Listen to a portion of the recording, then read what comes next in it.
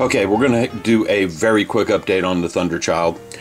As you can tell from looking at the video, I've put a basically a primer coat of paint on her. Um, couple of things to detail real quick. The nose section right here. This piece and this piece did not sit down flush with the ship.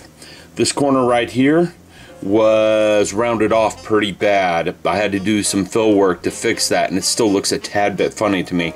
I'm gonna do some sanding and see if I can get that straightened up. One major issue, the model has a severe lack of symmetry to it. What I mean by that is the end of this piece did not line up with the end of this piece as you go left or right.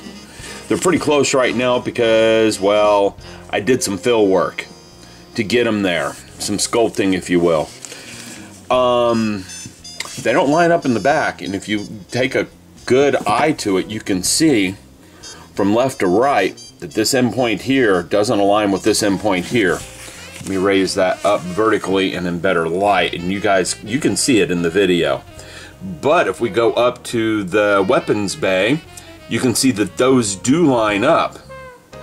Okay, so there that's a major issue to me. And it's not an alignment problem on my part because the two engineering booms here notch into the side of the ship real tightly. They only fit in there one way and in only one orientation.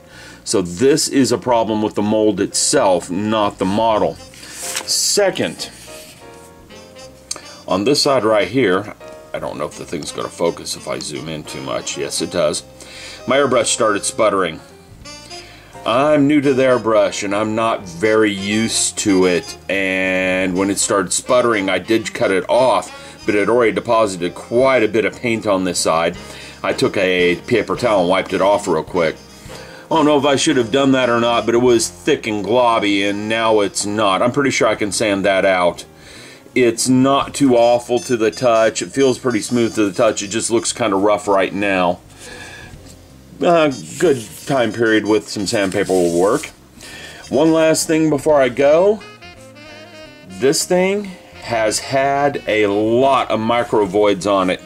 More than I thought. I don't know if we can see them right here on the edge of the phaser strip. You can see them a little bit where I've tried to repair them.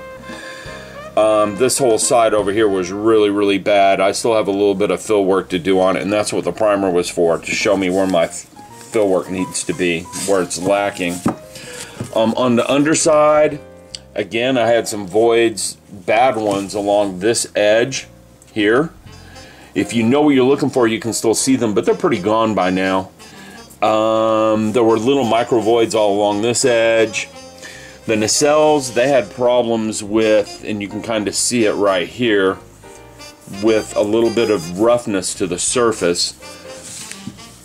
But And again, they're on the back of the model. You can see them here and here. I need to do a little bit more fill work on it to get rid of those and that little micro void right there. And there's one more micro void on the engineering bay to get rid of. I should be able to put a good base coat of paint on this thing, not primer coat, base coat of paint within the next day or two. And then we'll have another update when I reach that point. This is just a quick